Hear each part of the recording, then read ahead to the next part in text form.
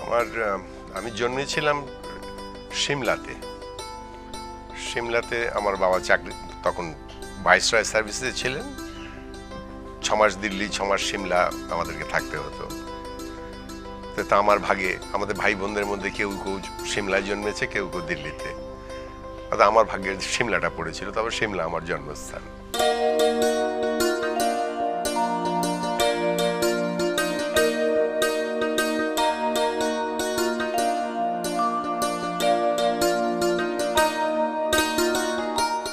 কলকাতায় এসে যখন আমরা কল- কলকাতায় এসে যখন আমরা কলকাতায় প্রথম উঠলাম, তখন বাড়িঘর তো ছিল না, তো আত্মীয় স্বজনের বাড়িতে থাকতে হবে বলে তখন উত্তর কলকাতায়, একেবারে উত্তর কলকাতায়, বাগবাজারের কাছে ওখানে গিয়ে কিছুদিন থাকলাম।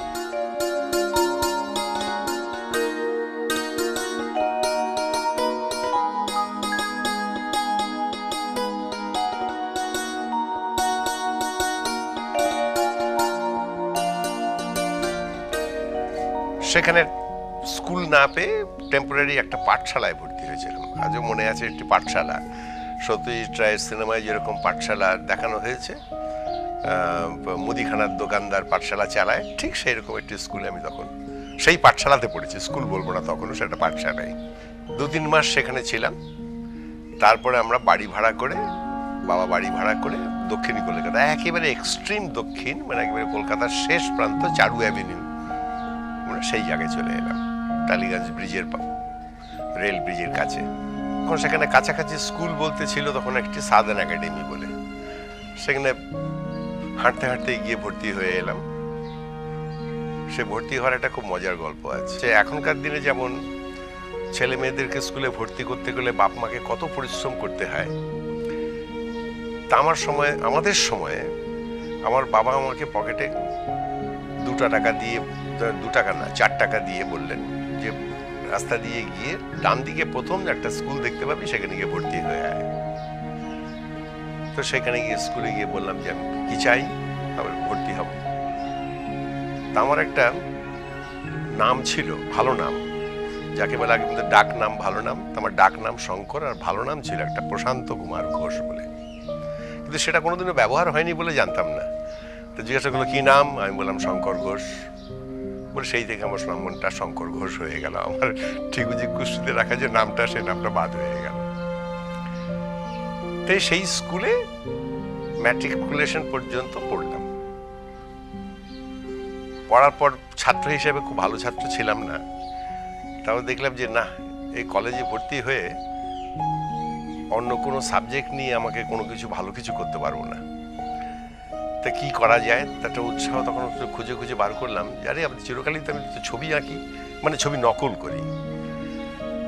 স্বাধীনতার সময় থেকে সেই গান্ধীর ছবি নকল করতে করতে বড় বড় করে এনলার্জ করব, তারপরে আরও বড় করব, করতে করতে সে সাজাবার জন্য। তখন দেখলাম যে ছবি আঁকলে কেমন হয়? পাড়া কয়েকটি ছেলে ছিল, তারা আর্ট কলেজে যেত ঘাড়ে ব্যাগ নিয়ে, আর মাঝে মাঝে দেখতাম রাতে ঘাটে ছবি আঁকে। ওই থেকে ছবি আঁকা শুরু মানে তাদেরকে জিজ্ঞাসা করলাম, ভাই আর্ট কলেজটা কোথ- কোথায় শেখা যায়? সেই আর্ট কলেজের ঠিকানা নিয়ে হাঁটতে হাঁটতে গিয়ে সেখানেও গিয়ে আঁকা গিয়ে ভর্তি হয়ে এলাম।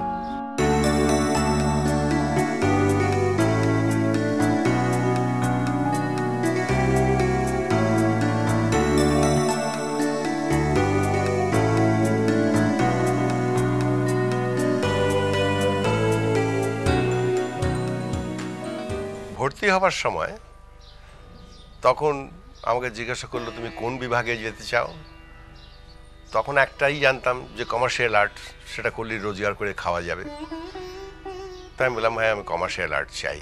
কিন্তু ওখানে ছিলেন তখন যে ইন্টারভিউ বোর্ডে তার নাম প্রদোষ দাশগুপ্ত। তিনি বললেন যে, না, তোমার স্বাস্থ্য স্বাস্থ্য ভালো?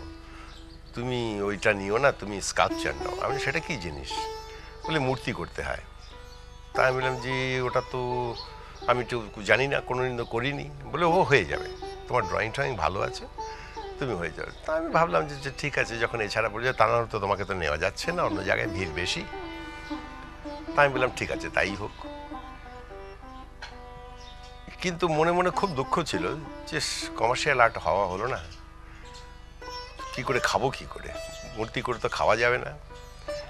তাই যাই হোক, দু বছর কোনো রকমে কাটাবার পরে স্পেশালাইজেশন ক্লাসে যখন যাব যে সেই সময় ভাবলাম যদি খুব ভালো রেজাল্ট করা যায়, তাহলে হয়তো বিভাগটাকে চেঞ্জ করা যেতে পারে। আমি হয়তো ওটা ভালো রেজাল্ট করলাম, কিন্তু তাতেও বদল হলো না। আমার স্কাল্পচারই থেকে গেল।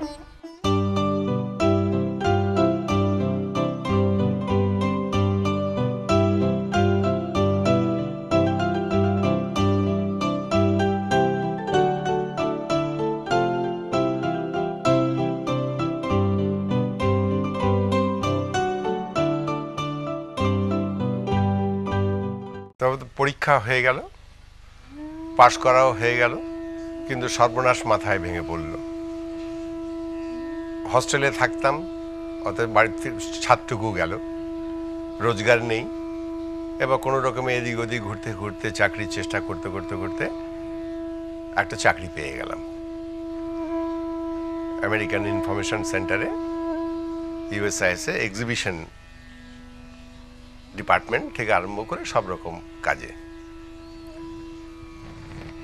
মাইনেও খুব ভালো, বেশ সুখেই আছি।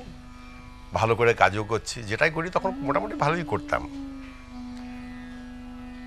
তো চাকরিতে সুখ্যাতিও হলো এবং চাকরি করতে করতে চাকরির নেশায় সমস্ত কাজ বন্ধ হয়ে গেল। ছবি আঁকতাম স্কাল্পচার তো করতামই না। ছবি আঁকতাম, সেই ছবি আঁকাও আস্তে আস্তে কমে গেল। তারপর একদিন হঠাৎ আমার এক বন্ধু এসে বলল যে, তুমি যেখানে তোমার অফিস, তার ওপরেই একটি স্টুডিও রয়েছে, যেখানে বিখ্যাত শিল্পী দিলীপ দাশগুপ্ত স্টুডিও। তুমি সেখানে গিয়ে রোজ কাজ করতে পারো তো। দিলীপ দাশগুপ্ত স্টুডিওতে গিয়ে ওনার সাথে দেখা করলাম। গিয়ে আমার অভিপ্রায় জানালাম, দেখুন, আমি একটু ছবি আঁকার প্র্যাকটিস করতে চাই। চাকরি করে করে এখনও যেন একটু কীরকম মনে হচ্ছে যে, শিল্পী হয়ে শুধু চাকরিই করে যাব। তো তিনি একটু নিমরাজি হয়ে অনুমতি দিলেন। এবং ওখানে কাজ করা শুরু করলাম। তো সেই উনিশশো বাষট্টি সালে আমি প্রথম কলকাতার আর্টিস্ট্রি হাউসে আমার একক প্রদর্শনী করলাম। সে প্রদর্শনী করার সময় একটি মজা এগিয়ে দাঁড়াল। মজাটা হচ্ছে যে ছবি আমি ভালোই আঁকতাম ওয়াটার কালার বিশেষ করে। তারপর দিলীপবাবুর কাছে পেন্টিং অয়েল পেন্টিং শিখলাম, প্যাস্টেল ড্রয়িং খুব ভালো করতাম।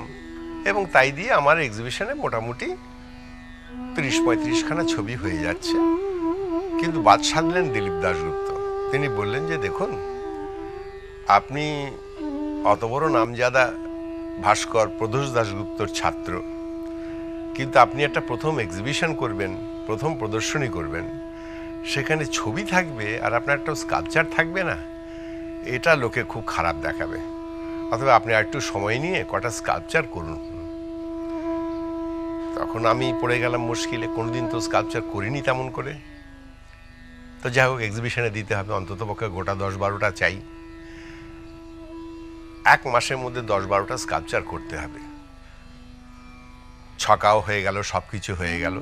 কিন্তু ছাঁচ করার জন্য ছাঁচটা তো করা শিখিনি। কি করা যায়? তেমন এক বন্ধু তখন ছিলেন বিখ্যাত শিল্পী ভাস্কর সর্বরী রায়চৌধুরী। তাকে বললাম যে, ভাই, তুই আমাকে একটু ঝাঁচ করা শিখিয়ে দিবি বা ছাঁচটা করে দিবি? তো সে সারা রাত জেগে আমার চার পাঁচখানা ছাঁচ ছাঁচ তৈরি করে, ঢালাই করে, সব করে ভোরবেলা উঠে তিনি চলে গেলেন। এক্সিবিশন শুরু হলো। সেই এক্সিবিশনে হিংসে করে হোক, রাগ করে হোক, বন্ধু হিসেবে হোক সর্বরী প্রথমেই সবাইকে বলতে আরম্ভ করল, এই যতগুলো স্কাল্পচার দেখতেছ, ওগুলো সব ও পনেরো দিনে বানাইছে। তার মানে ওটা কি আমার গুণ হলো? না দুর্গুণ হলো সেটা বুঝতে পারলাম না। যাই হোক, পরে আমি ধরে নিলাম ওটাকে আমাকে প্রশংসাই করা হলো, কারণ আমি পনেরো দিনে এতগুলো স্কাপচার করতে পারি। তখনকার দিনে কাগজের, খবরের কাগজের ক্রিটিকরা বেশ ভালোই জায়গা ঠাগা দিত। তা আমার এক্সিবিশনেও সব কাগজে মোটামুটি বেশ বড় বড় করে লেখা হলো ছবি টবি দিয়ে হলো। তার মধ্যে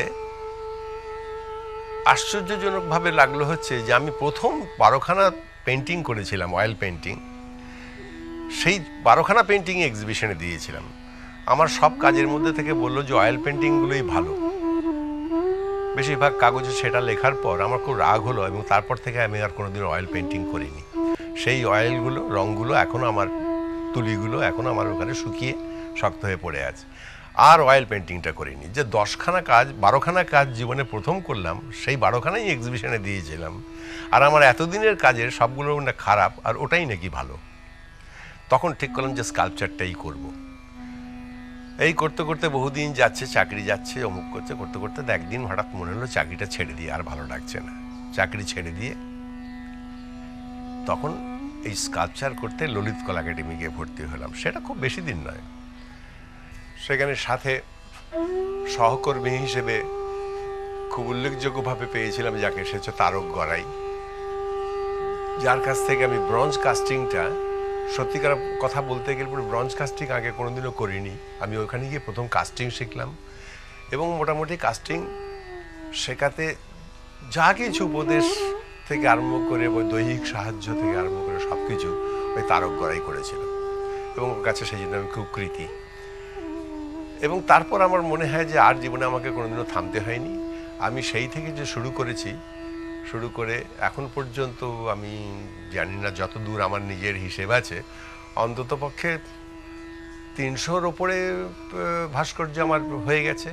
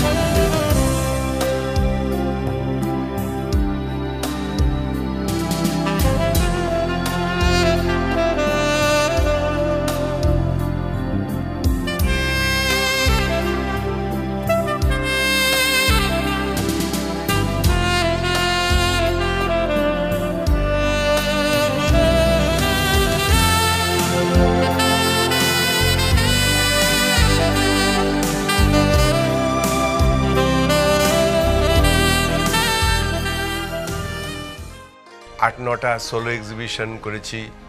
কলকাতাতে, দিল্লিতে, বম্বেতে, ব্যাঙ্গালোরে। এবং পার্টিসিপেশন বলতে গেলে পরে সব রকম মিক্সড দল কোনো জায়গায় হয়তো একখানা, কোনো ঘানায় পাঁচখানা। এইভাবে পার্টিসিপেট করেছি বোধহয় শতাধিক এক্সিবিশনে সত্যি কথা বলতে গিয়ে যে কাজ করে যে পরিমাণ আনন্দ সবসময় পেয়েছি। এবং তারপরে যখন সব ছেড়ে ছুড়ে দিয়ে যখন শুধু স্কাপচা করা শুরু করলাম, তখনও আমি বলব যে পুরোপুরি আনন্দ পেয়েছি। আগের কোনোটাতেই আমার কোনো খেদ নেই এবং এটাতে তো নিশ্চয়ই নেই। তার কারণ এখন মনে হচ্ছে যে জীবনের মরা মৃত্যু পর্যন্ত বোধহয় এইটাই করে গেলেই ভালো লাগবে এবং এর কত রকম উন্নতি করা যায়? উন্নতি মানে আমার নিজের কাছে উন্নতি। আমি নতুন কিছু আবিষ্কার করতে পারব না। যা লোকেরা চিরকাল করে এসছে তারই চর্বিত চর্পণ করছি। খালি কিছু ফর্ম নিজের কিছু কাজ, নিজের কিছু বিশেষত্ব কিছু করতে পারি কি না তাই খোঁজে আছি, জানি না কখনো হবে কিনা।